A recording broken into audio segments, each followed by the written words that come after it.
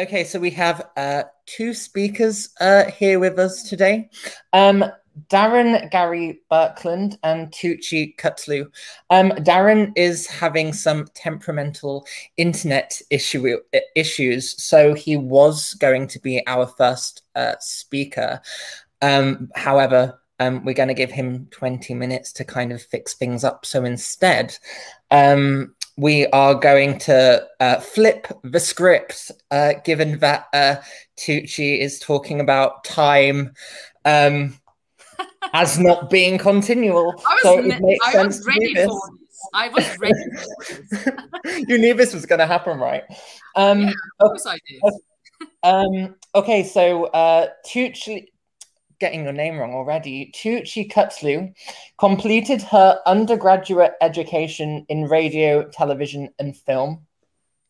As a, valedict- as a valedictorian at Ankara University, received another BA in International Relations from Anadolu University. She completed her MA in Film Studies at uh, University College London under a scholarship, wrote her dissertation on grief in the 21st century horror films, supervised by Professor Susanne Kord at UCL, and was a- awarded a distinction. Um, she has finished her second MA on power relations in post 2000 Turkish cinema at Ankara University.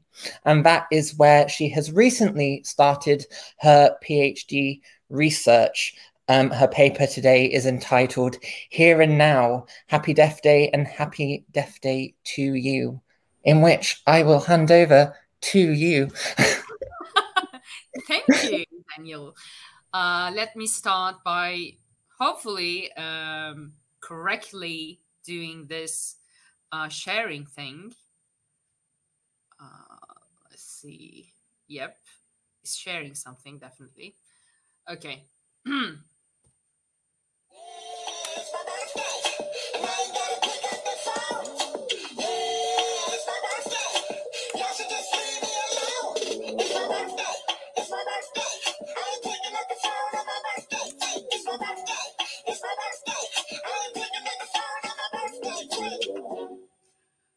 First of all, I'd like to thank the producers of Happy Death Day for giving us the smash hit that is It's My Birthday.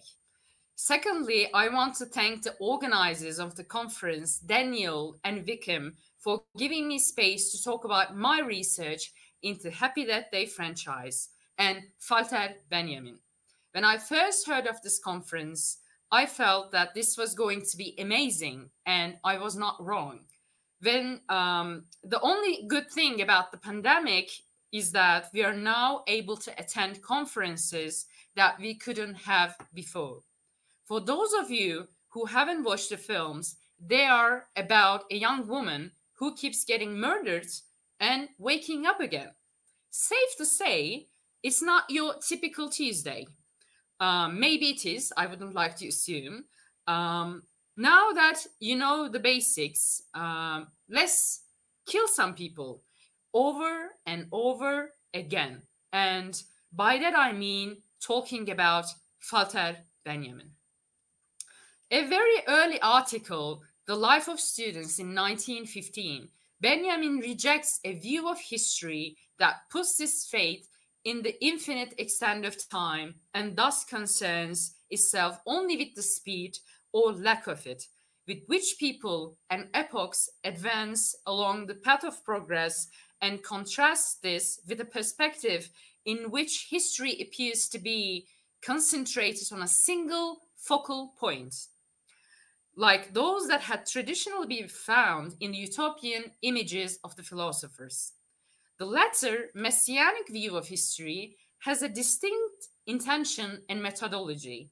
It aims to grasp how elements of what Benjamin calls the ultimate condition and highest metaphysical state of history, which we might call the historical absolute, appear not as a telos or end of history, but as an imminent state of perfection, which has the potential to manifest itself in any particular moment.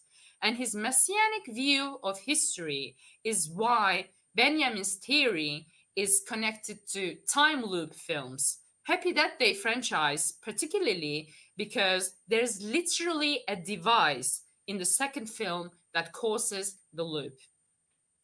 In the ebb and flow of its changing rhythms, additions, revisions, reformulations, and retrievals, Benjamin's Arcades project provides an extraordinary case study in the labor of conceptual construction via the configuration and reconfiguration of archival materials.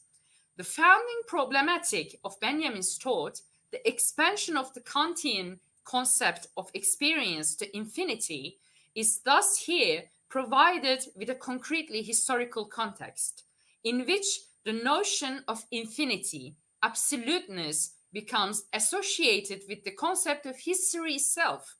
The problem to dialectic, dialectically redeem the concept of experience by finding an appropriate way of experiences the crisis of experience itself. In classically modern terms, the present is defined as a time of crisis and transition, and philosophical experience, truth, is associated with the glimpse within the present via the past of a utopian political future that would bring history to an end. For Tree, in Happy Death Day, the present is a continuous crisis that she can't get out of. While we are at it, let's talk a little bit about linear time versus now time, Jetztzeit. Linear time is a time as we understand it, flowing in a straight way. The introduction of the clock allowed those past generation who adopted this mode of standardization to generalize forms of production to measure time in more exact ways, offering the possibility to unify schedules, geographic scales, and calendars. The unification of calendars is a clear example of the unification of conceptions of time into a unique conception of linear time. However, Benjamin introduces the messianic element to critique such a bourgeois linear conception of time. The messianic element that Benjamin introduced with the perspective with respect to time was to find new epistemological dimensions that are capable of establishing new form, uh, new relations with the world and nature, and which would have a deep impact in developing new forms of so social socialization. For example, Benjamin says that there exists a weak messianic force in every generation of human beings that recognizes in the past the necessity of redemption and the potential of actualizing the past in the present. In Happy Death Day films, the protagonist, Tree, lives the same day over and over again, only to be killed each time. She breaks through the time space continuum. I argue that it is because her weak messianic force comes from her grief She's not a bad person to be changed. She's just going through a lot, and this event is her redemption. A new philosophy of historical time is the ultimate goal of Benjamin's later writings. It appears most ex explicitly under construction in Convolute N of the Arcades project on the theory of knowledge, theory of progress, it is applied to art history in the 1937 essay Eduard Fuchs, Collector and Historian, and is manifest in a condensed, rhetorically political, and problematic form in On the Concept of History. It derives from a dual critique of the vulgar naturalism of historicism and the deferral of action involved in the associated social democratic concept of progress it gives rise to a conception of historical intelligibility based on literary montage as the method of construction of dialectical images. And it culminates in a quasi messianic conception of revolution as an interruption of history or an arrest of happening. History is interrupted over and over again in Happy Death Day franchise. While she deals with multiple deaths, Tree also deals with her own history. She needs to revolutionize in order to survive and move on. Benjamin writes, and I quote, it is not that what is past casts its light on the on what is present, or what is present is light on what is past. Rather, an image is that wherein what has been comes together in a flash with the now to form a constellation. In other words, image is dialectics at a standstill. For while the relation of the present to the past is purely temporal, the relation of what has been to the now is dialectical, not temporal in nature, but figural. Only dialectical images are genuinely historical. The experimental method of montage, borrowed from surrealism, was to be the means of production of historical intelligibility. Furthermore, the static temporality of the image was understood to connect such an experience of historical meaning directly to a radical or revolutionary concept of action associated with the idea of the present as crisis. The passage goes The image that is read, which is to say, the image in the now of its recognizability, bears to the highest degree to the, the imprint of the perilous critical moment on which all reading is founded.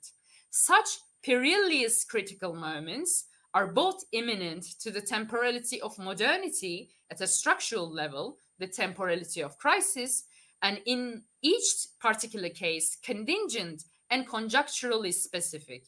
In them, the past is understood to bring the present into a critical state.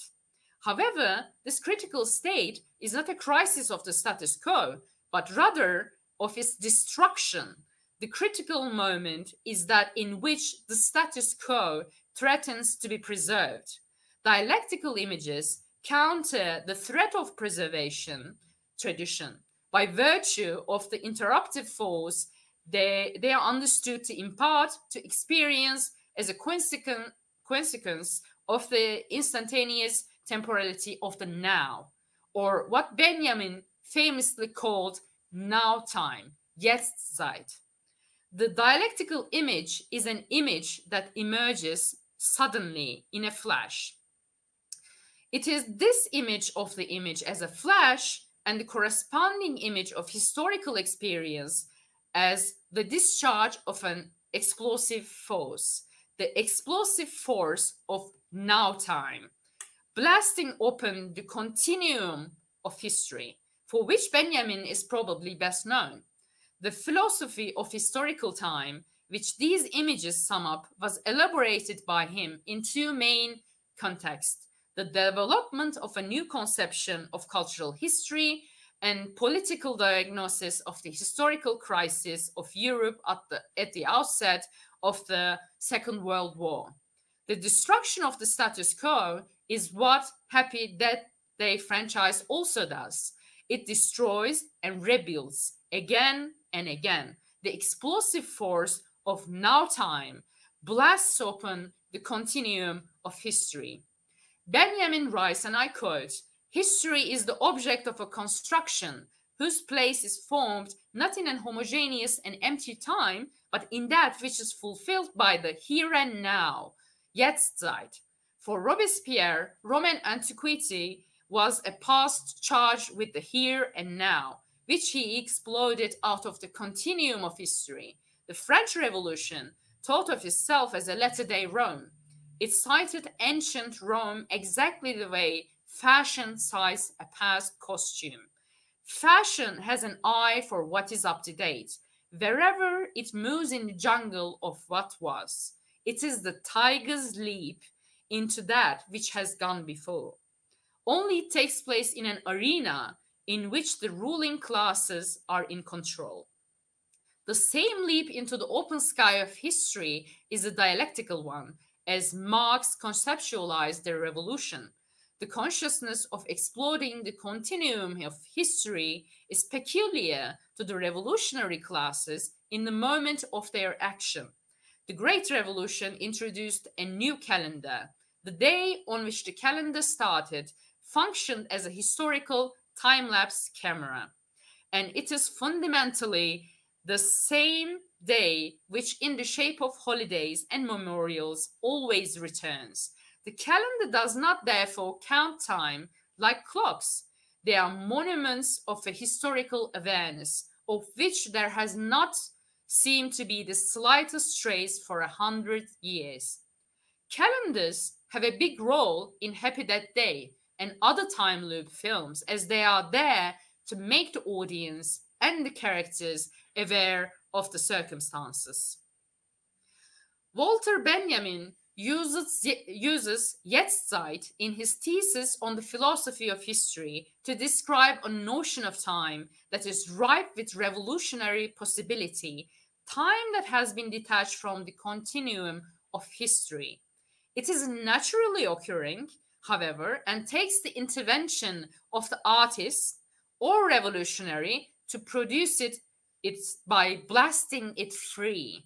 Benjamin contrasts Jetztzeit with the homogeneous empty time of the ruling class, which is history written from the perspective of victors. The moment of messianic arrest is something intelligible in the complex of events that constitute now time or Jetztzeit, something readable to the historian or the poet, as well the expressions of this moment and elaborations from it as history or literature are themselves arrests, moments where the progress of time is interrupted in order that the messianic moment, the possibility of understanding or even deliverance from suffering is presented. Now you might you might ask yourself where the hell Happy Death Day fits into this. The time loop I defend is Jetztzeit, the now time because it is time at a standstill, poised, filled with energy, and ready to take what Benjamin called the tiger's leap into the future. Just like Tree, our main character, Benjamin was an outsider. Tree lost her mom, and that was her moment of truth. That was the trauma she could not face. Jetztzeit isn't naturally occurring, however, and takes the intervention of the artist or revolutionary to produce it, it by blasting it free from the ceaseless flow in which it would otherwise be trapped. And that's what we learn in the sequel. There was a reason for these time loops. The time loop or temporal loop is a plot device in fiction whereby characters re experience a span of time which is repeated, sometimes more than once, with some hope of breaking out of the cycle of repetition. The term time loop is sometimes used to refer to a causal loop. However, causal loops are unchanging and self originating, whereas time loops are constantly resetting. When a certain condition is met, such as the death of a character in our case, or a clock reaching a certain time, the loop starts again possibly with one or more characters retaining the memories from the period, previous loop. And in our case, it's just Tree remembering the time loop. Stories with time loops commonly uh, center on the character learning from each successive loop through time. Jeremy Douglas, Janet Murray, Noah Falstein, others and others compare time loops with video games and other interactive media where a character in a loop learns about their environment more and more with each passing loop. And the loop ends with complete mastery of the character's environment. Shaila Garcia Catalan provide a similar analysis, saying that the usual way for the protagonist out of a time loop is acquiring knowledge, using retained memories to progress and eventually exit the loop. The time loop is then a problem solving process. The narrative became, becomes akin to an interactive puzzle. In Happy Death Day franchise, Tree is over and over getting murdered by some psychos. She learns, she adapts, and she's revolutionary for it. As a grief scholar, as well as a horror scholar, I can't help but talk a little bit uh, about Tree's grief over her mom. She lives through all stages of Kubler-Ross and Kessler's five stages of grief denial, anger, bargaining, depression, and acceptance. It takes all her strength and multiple deaths for her to face up to her trauma. She meets her dad and talks about her mom for the first time. This is vital because this is the exploding point of her history. She destroys the status quo, as Walter Benjamin would say. The work of memory collapses time, he retorts. In Tree's case, her memory about her mourning disintegrates time and blasts her free. In the sequel, it's her friends that are dying. She goes through grief again and again until she makes a decision to be the one who dies. Once again, grief is present in the weak messianic power of Tree. In the opening titles, the famous universal opening sequence stops and rewinds. Bear in mind, it is the world turning and stopping, just like the time and space where history takes place. The moment when the film begins over and over again is when she wakes up on her actual birthday. It is no coincidence because this is a time she used to have good memories about. But now all is different as her mom is not there anymore. She feels as homeless as Benjamin. Benjamin's constant intellectual outsiderness is a major element of this messianic moment. His lack of a systematic or coherent home within a system of ideas is both consciousness and potential for action. Further, Benjamin often expresses this homelessness in terms of shock. Her trauma, her shock, pushes Tree into action. The messianic moment, the loop, sets her free. On a final note, both of these films were directed by Christopher Landon, a queer filmmaker. I personally am very interested in queer filmmaking in horror. And as a person who also loved Freaky, I can't wait to write about queer horror filmmakers in the near future and most definitely include Landon. Thank you for listening. I'm looking forward to the questions. I hope that this study opens up exciting discussions. Try not to get into a murderous Groundhog Day. Thank you so much. Uh, that was such a spectacular paper, one um, that perfectly gets us going. I think that Darren now has a. Oh, sorry. I believe that Darren now has a stable intercon- an internet connection, or so we hope. Let's hope for the best. we'll find out the hard way, am I right? Um, okay, so uh, Darren Gary Berkland is a PhD candidate and digital media lecturer at Coventry University, UK. Their research is conducted under Coventry University's Centre for Post Digital Cultures and focuses on the conditioning of gestures through the possible arrangements and organizations provided by increasingly ubiquitous digital assemblages. Um, their recent publications include Selfie Screen Sphere, examining the selfie as a complex embodying gesture the Nexus, and gestural translations from within um, gestural translations from within the post-digital, a Flusserian analysis of phonic gestures for the Flusser archives. Um, his paper today, which I nearly did not read out, is called You Mean I Have to Live the Rest of My Life in This Body? I wish I could do it like Chucky, but I can't. Examining the slasher genre through the gestural performance of an audience. So, uh, Darren, over to you. Uh, thank you so much for that wonderful introduction. Um, it's absolutely lovely to be here, um, especially at the end of this wonderful conference. Um, I'm just going to do the awkward try and share my screen. So just give me a brief second here. Um, if someone could just let me know if they could see the PowerPoint. It's all good. Okay, brilliant. All right, um, okay, to begin. Um, Two participants were watching Adam Green's 2006 film Hatchet on the 25th of August 2020. Locked down during the pandemic, the participants were watching the film at two separate locations, 7,000 miles apart, while discussing the film across the WhatsApp platform.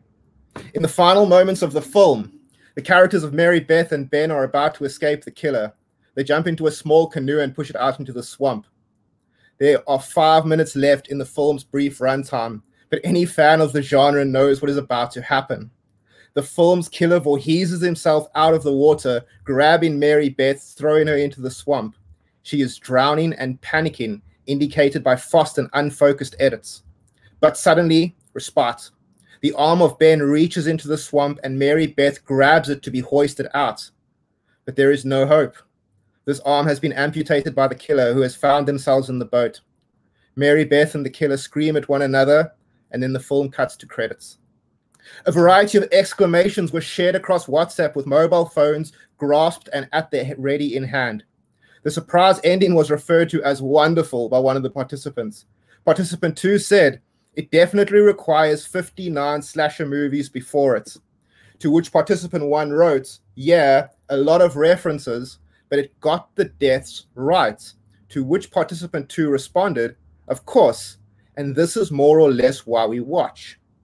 Hatchet and its sequels are films that could colloquially be referred to as love letters to the slasher genre, indicated in the in the casting of actors such as Elm Street's Robert Englund, Candyman's Tony Todd, and Kane Hodder, who played Jason in several of the Friday the 13th films.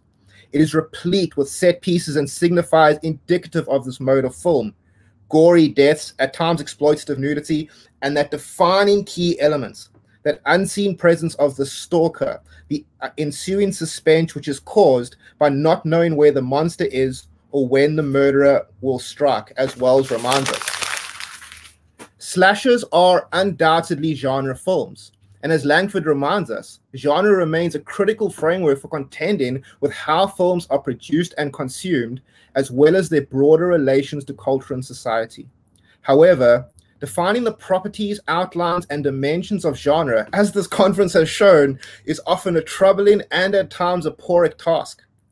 So, what this research I am presenting, the research in this paper, provides some preliminary investigations into how genre is assembled through the performance of an audience at the level of gesture. Gesture here, however, not defined as a symbolic movement of the body, but as a situated and performative act of perceptual embodiment. Gesture as disposition. In other words, genre is shown to be defined through the gesture of watching and not exclusively how a film is categorized by salient and recognizable characteristics or structures and apparatuses of production. This research evidences this claim through the method of conversational and discourse analysis. It analyzes conversations between participants who watched a total of 56 slasher and slasher adjacent films over three months. What is shown is how an established genre, the slasher, becomes reassembled and the performance of participating with the genre is demonstrated in the collected conversations. However, these conversations are expanded to the level of discourse, and genre is shown to be encoded not only through statements, say, of what is said and unsaid, but through the statements of an embodied subject at the level of gesture. Ultimately, genre is shown to be gestural, this hopefully expands existing theories that, that examine genre at the level of content, characteristic, or production, and ultimately concludes that genre is simultaneously recognized and embodied by an audience. However, before any methodological considerations are provided, there are two terms that require conceptualization in context of this work, namely genre and gesture. And it is such a good decision to take two terms that start the same way. So I apologize if I trip over them a little bit. As I am by no means a film scholar, my conceptualization of genre is literary in origin, so there may be some slight interstices between how I talk about the term and how it is more specifically used in film. So for this, I do apologize. But I follow I follow Heather Dubrow, who exemplifies that genre functions much like a code of behavior established between the author and the reader, or in this case, to be somewhat reductionist, the film and the viewer. But I also acknowledge that genre is by no means deterministic in terms of film or literature and is better understood as a tone of voice rather than a more clear cut signal. Ultimately, genre offers one interpretation of a text's meaning, directing our attention to the significant constituent elements, but it does not and it cannot provide an infallible key to its meaning. For this reason, some researchers, such as John Frow, have defined genre as a discourse, with the word discourse being used in a pretty strictly Foucauldian sense. Not just a way of talking about something or how something is spoken about, again, the said and unsaid, but rather genre as a series of practices that systematically and constituently form and mold the objects of which we speak.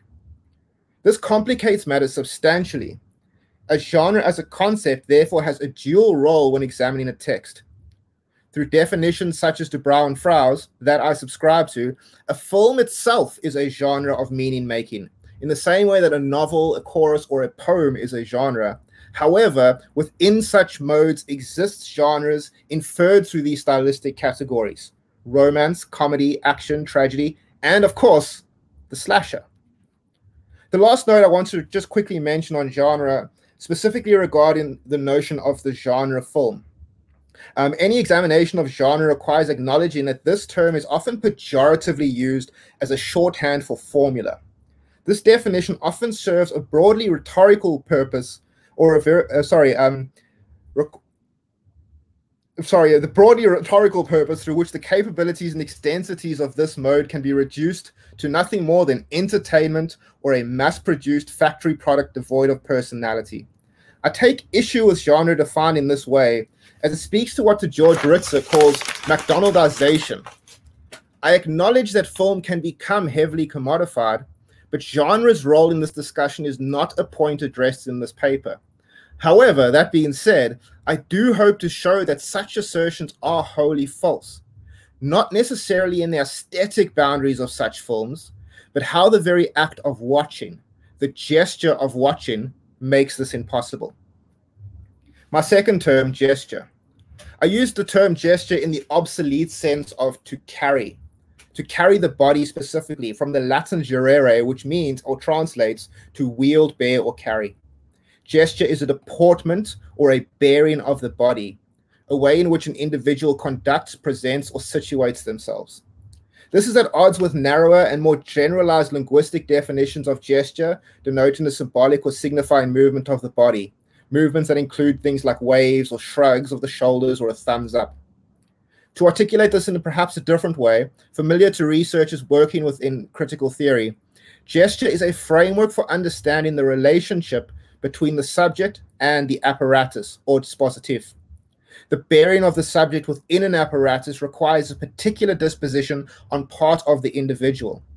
To be subject to something is to carry the expectations of an apparatus, to prepare for the correct methods of use, as Flusser would say. And this can only be done if the body is articulated and expressed in a particular way. It is for this reason that gesture can be understood as a method in which the subject acts themselves out, allowing for the dominant strategies of the apparatus to be endured and supported through a situatedness of the body. In becoming subject to an apparatus, a specific gesture is required by the individual, and therefore the capacities of the body are reduced. What is imperative to understand is that the term gesture is a method for describing the relationship between subject and apparatus. Therefore, to say that a genre, such as the slasher, requires a specific gesture is to say that the slasher is a relationship through which an individual becomes slasher through how they situate themselves in terms of a series or collection or corpus of items. What this ultimately means is that the definition of genre as discourse pointed to above perhaps requires some expansion, expansion, and instead genre is better understood as an apparatus. The methodological valency of this term allows for discursive considerations to be made, as well as accounting for various knowledges or literacies and any dominant strategies, power strategies implicit within its function. In short, a genre is not consolidated by the gesture of the body. Rather, the gesture of the body is required to create a genre, and therefore this genre becomes a constituent part of a subject. Some notes on method. This study is based on a corpus of WhatsApp text messages exchanged by means of an instant messaging application installed on smartphones. An internet connection is used to send text messages, photographs, animated GIFs, and videos and audio files. The data was an ongoing conversation between two participants between July and October 2020. While the capabilities of WhatsApp allow for a variety of media to be exchanged, it is only the text that is analyzed here. The conversations were scraped from WhatsApp into a collection of text files using an API and some basic scripting. Each file was named in watch order, and the file names included the title of the film and the year of release. The text files were stored in a secure cloud drive, and a total of 14,672 texts were sent between the participants. However, there were very few discrete discussions on genre, so conversations were annotated with a variety of keywords to highlight points of interest. These keywords included horror, slasher, kill, death, genre, movie, and film. There were some these were some of the primary moments for qualitative discursive analysis. Since the text, of course, being text, does not have the same paralinguistic qualities as spoken conversation, other aspects of the text were considered in this analysis notably things like frequency, capitalization, and time between messages.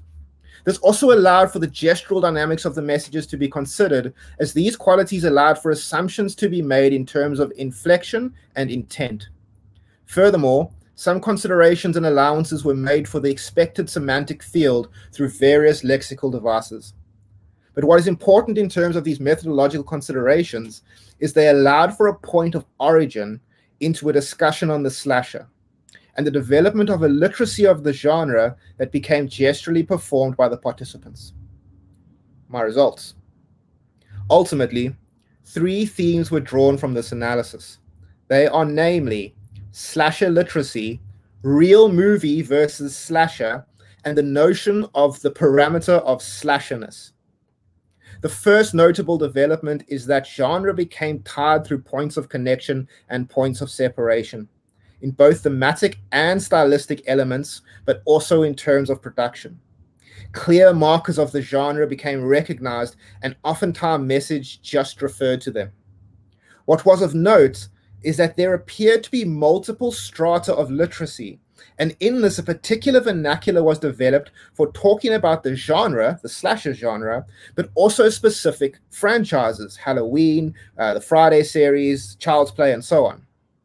This illustrated that the slasher genre was not only determined in terms of specific signs, but also in terms of the parameters and intensity of those signs across the conversation. Analyzing the conversations, you get the sense that the earlier films in the corpus were watched as, quote, films, and the disposition changed, and the later films were interrogated as slashes. However, it is difficult to indicate the exact moment this happens, as it seems to unfold gradually throughout the viewings. But some evidence of this can be seen in the, sorry, some evidence of this can be seen in discussions surrounding various characters. For instance, the early child's play viewing focused more on Andy and the justification for his actions as seen in the conversations on the slide. However, during later viewings of series such as Friday the 13th, there were less discussions on the motivations of specific characters, and rather discussions focused more on the salient, recognizable elements of the genre and the franchise. For example, murdered teens and copious amounts of defenestration. While this could be a result of quality or writing of production, this is difficult to gauge, but it should be noted that this is where the second theme began to emerge very early in the viewing. The notion of the real or proper film as a comparison point to the slasher. This occurred surprisingly early, and a distinction was drawn. For example, when 2013's Curse of Chucky was viewed, the participants referred to visual storytelling and cinematography. Two things worth noticing here. Firstly, that final statement, this is like a real movie. The distinction is clear between real movies, which are never defined by the participants, and slashes.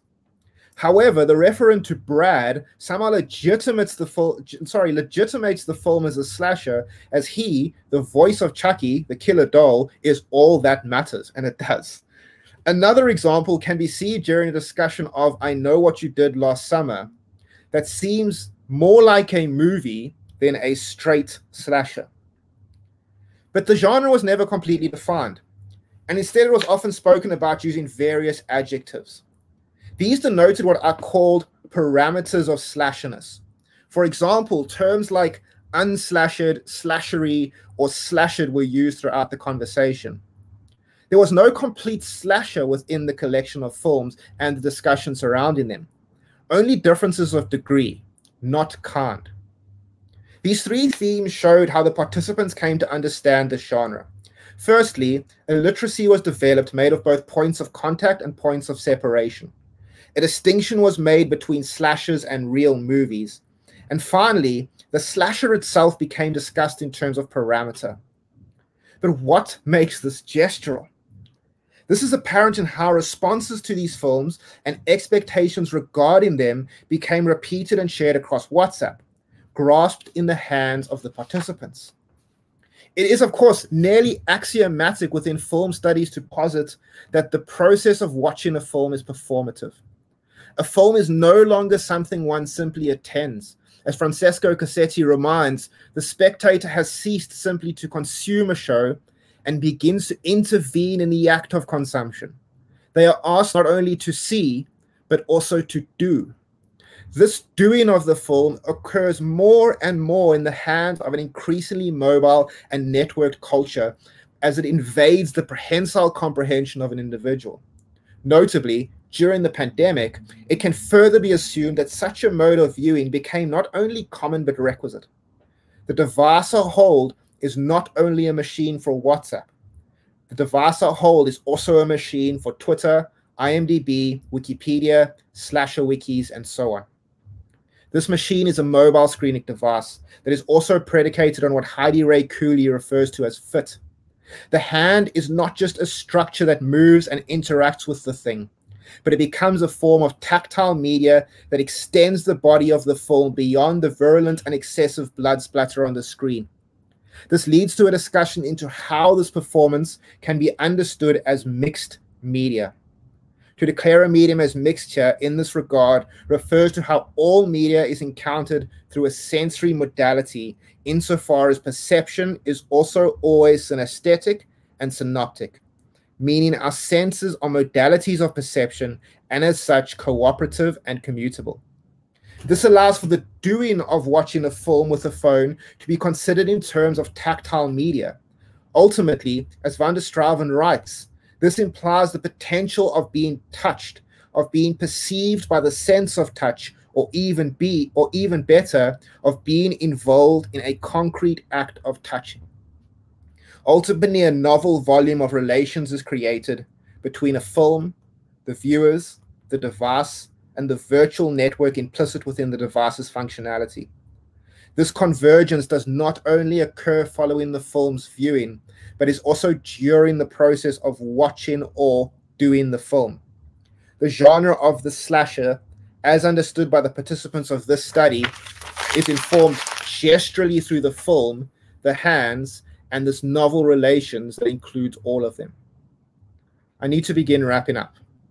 I have a distinct advantage of being one of the last papers of a three day conference on this subject. So I have a certain vantage point over what has already been said. And from this position, it is apparent that the slasher is a genre of bodies.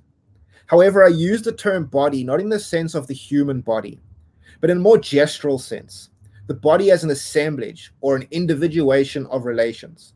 The slasher as a genre fetters various relations together bodies of race, bodies of gender, bodies of urban or rural or digital spaces, all presented and represented as film.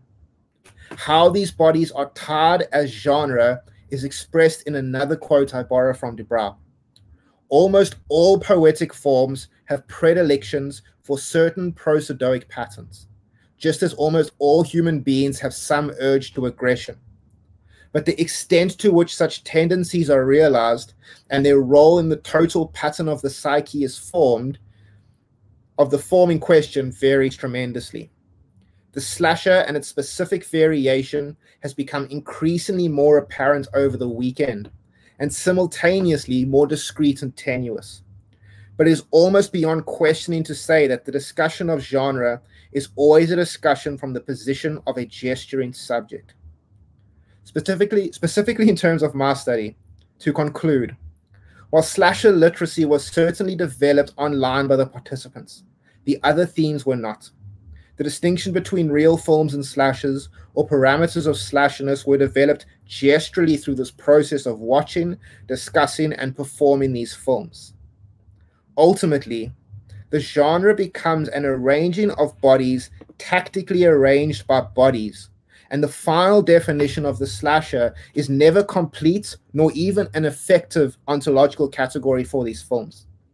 The slasher was nothing more than a means of doing films as an audience through their hands.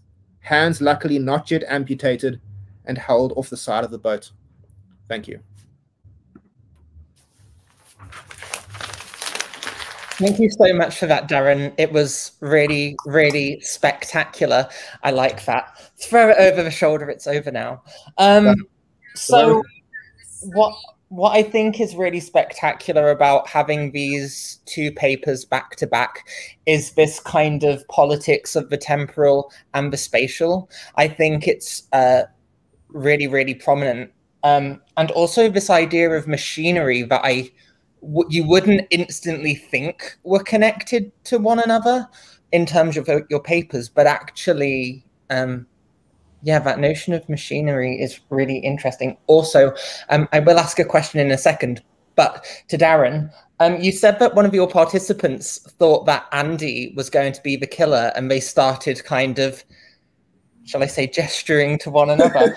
I think it's really funny because um, the uh, gay screen, well, should have been gay screenwriter uh, Don Mancini. He, in fact, I think he did write it in the end. But uh, initially, he was going to make uh, Andy and Chucky were going to be like a killing double act. So I think it's quite interesting how kind of, even though that never became the actual script because MGM had an issue with it, I think it's kind of cool that people are still getting that original creativity. But to not turn this to not turn this into a into a Chucky conversation, which tends. I know I'm not going to. I promise. Well, it's queer horror, and that's related. Am I right?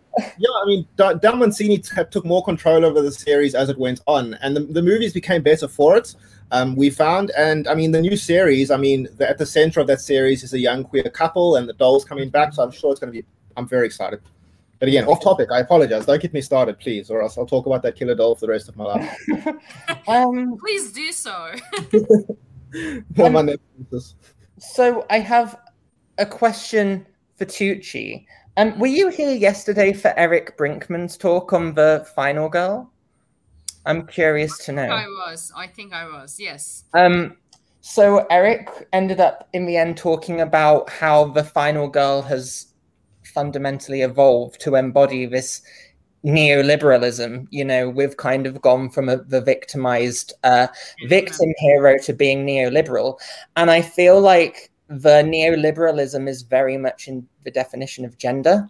And whilst your paper touches on gender uh, without, it touches on gender without actually touching on gender, I think it's really interesting how um, your theoretical framework's actually quite radically against neoliberalism, whilst we're simultaneously saying, "Hey, neoliberal final girl." For me, tree is a revolutionary, like revolutionary list. Uh, but yeah, I, I now that you talked about it, because uh, in these three days we like listen to so many talks, and sometimes they get hmm. jumbled mm. up. But uh, now that you talked about neoliberalism liberalism, and I remembered uh, Eric Eric's talk, and uh, yeah, I was while I was listening to, it, I was like, I am saying the complete opposite of this. Like, this is not Um, this is not the same. There, uh, but of course, the, there are uh, ways to look at something. Like there are multiple ways to look at something. Of course, uh, we don't do not have to do the you know same thing over and over again, like just mm-hmm. like Happy Death Day.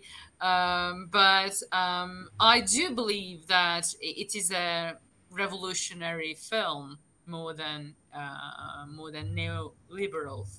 I think it. I completely agree. I think as well going via the notion of trauma is actually really uh, useful, especially in terms of the fact that it, you know, um, it's always difficult to decipher whether someone's talking about gendered trauma or someone's talking about trauma in a much larger sense. However, I'm commenting and not actually asking any questions, ironically. Um, a question. You know, you know I, I love uh, talking about grief uh, because my dissertation was on grief. I try to like divert the topic to grief at any given moment. So well, yeah. I mean, just just to on. jump in, just to jump in briefly there with with Happy Death Day. That was kind of one of the films that really drew that distinction with our conversations, with these conversations uh-huh. between a slasher. Because the first one is more kind of a traditional slasher, and the mm-hmm. second one is like you know time travel weirdness, sci-fi, and sci-fi. It's sci-fi. I mean, wonderful, wonderful. But you you could start to see that kind of distinction come straight up there, and it was yeah, what a series! What a series! Exactly. Anyway. That's why I loved it because it just took the idea. When I first heard that they were going to do a sequel, I was like, why? But then I watched it and I said, oh my god, they completely changed the entire concept, and uh, while staying true to the original, and it was perfect to me it mm. was perfect i can't i can find a fault in happy death day franchise i can't there isn't fault. That's the exact reason why. Um, so we have a question in the comment section that I think is um, really interesting in relation to kind of historical horror studies theory. So we have a question for Darren that says, further into the watch list, did you find the participants cheering for the killers? I've noticed this happen with franchises as they go on. Um, yeah, that's that's actually a, an interesting an interesting uh, question. Thanks, Cam. Um, but I think it was it depended on the series itself. In many ways, we found ourselves cheering for a franchise more than kind of a, a specific killer, a specific figure. So, for example, I mean, you know, we Halloween it wasn't for us. Like it was by the 27th movie in that series, it's just like just that's enough. You know, I've had enough. But I think that I mean, if this if if there was a quality to the franchise itself, it kind of motivated us. And I mean, yeah, they were at the end of it. I mean, you're you're cheering for Chucky, and you're like, this this character's a monster. Like you know, characters like like the morally reprehensible thing. You know, um, and but I think I think that did. I mean, I'll have to go through the through the the corpus again, and I think it would be interesting for me to look at it again and say, okay, when did we start cheering for Jason, and what which film was it, and how mm. does that hmm. relate to how we felt about the film? But um, I know there was a there was a fantastic paper yesterday on Freddy Krueger, which was which was interestingly a series we want we wanted to love Nightmare. We really wanted to love Nightmare on Elm Street. And I think Nightmare 5 was probably one of the, the highlight viewing points of the whole series but it's like after a while, Freddy just kind of became annoying, you know. And then all of a sudden, it's like I've had enough. You know, I, I, don't want to cheer for Mickey Mouse. You know, it's like I've had enough of it. So, yeah. This kind of explicitly then comes into another question that we have, um, in which um, I will. It's for Darren, but I will then relate it directly to Tugce. So, um, after talking about the killers, um, someone has asked uh, except I've just forgotten where it is. Here we go. Uh, question for Darren. Did the participants demonstrate empathy towards characters or regard the characters as deserving of their grisly fate? That's you know what, that's actually a lovely question. And before I cut before I cut my um my paper down for time, I actually had a paragraph on it. Um, it became too much about a paper about empathy itself, but that distinction between a real movie and a slasher film is once viewed as a real movie, then you want to develop that kind of classic cinema empathy with the character on. Mm. You know, you situate yourselves in that character. But when it's a slasher, then it's like, I don't care. Like, you know, let's see someone get, I want to see someone thrown out of a window and get hit by a bus and fly into a tree, and I want to see their head fly off. And then that's when kind of you you realize that it's you know, it's people as props type of problem, which again, massively problem massively problematic in in the viewing. But um, also that's what made it so interesting for me is how kind of gestural and responsive these these things came.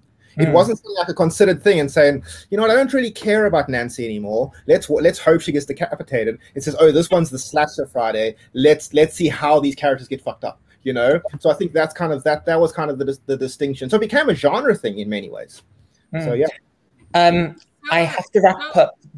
Weird. Sorry to interrupt. No, it's fine. So weird yeah. because Happy Death Day starts with Tree as an anti-hero.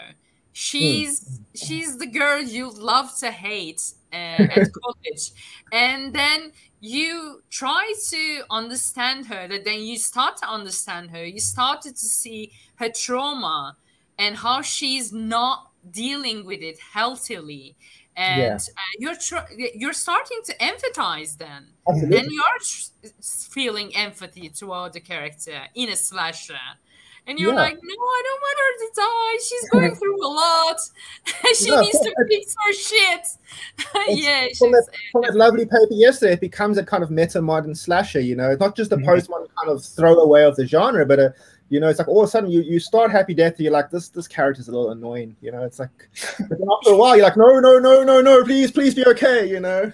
So True, well, true. I ironically, Tugce answered my question without me even having to ask for questions. So you know, temporal moments, synergy. I saw go. the future. um, unfortunately, we have hit uh, nine o'clock. Um, so we're gonna have to wrap up. But again, we've just had two absolutely fantastic papers. Darren and Tugce, thank you so much. They were thoroughly enjoyable. Um, both Darren and Tugce are on Twitter. Um, if you would care to find them, because I, I, would I would put the Twitter in, but I'm chairing. I, so. I don't know. I will I will put my Twitter in in the chat. Smart. Yeah. Thank you. I'll, I'll go. I'll, I'll go figure out what what I called myself when I was 16 and put it in the chat and apologize profusely to everyone. okay. Thank you so much, you two. Uh, thanks. Thanks for being a lovely chair, Daniel. Speak soon. Thank you.